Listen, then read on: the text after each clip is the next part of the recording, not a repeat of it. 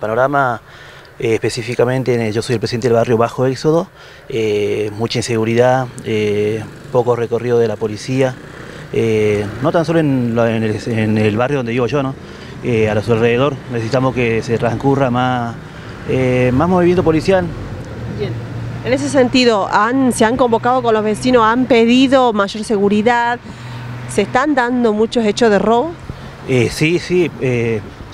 En mi barrio particularmente es un barrio eh, eh, muy inseguro, eh, hay todo,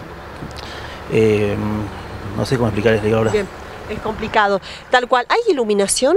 En el barrio de nosotros está iluminado, pero hay muchos focos que están, que están quemados. Hicimos una nota nosotros al municipio para que los cambien, pero todavía no tenemos respuesta.